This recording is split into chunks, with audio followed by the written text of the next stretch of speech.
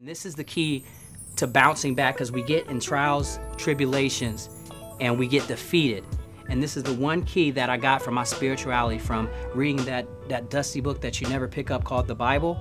And it, there's actually some good things that you can apply to your entire life. Believe me, there's some actually good things in there. So uh, that's one book among many that I read. And I'm gonna read this to you and really take this in because it's life changing. It changed my life.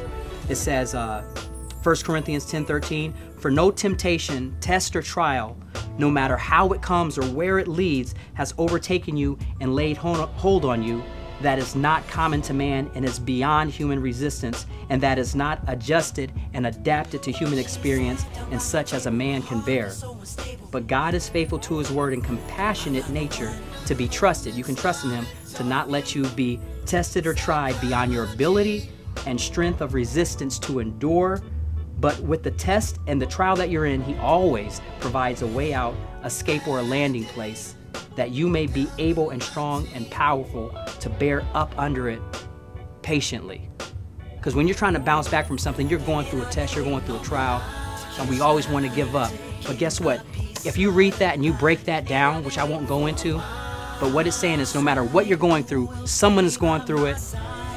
And if you're in it, that means you can get out of it.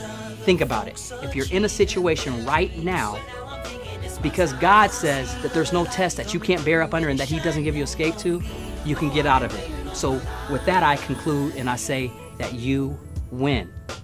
You win. Ground yourself spiritually.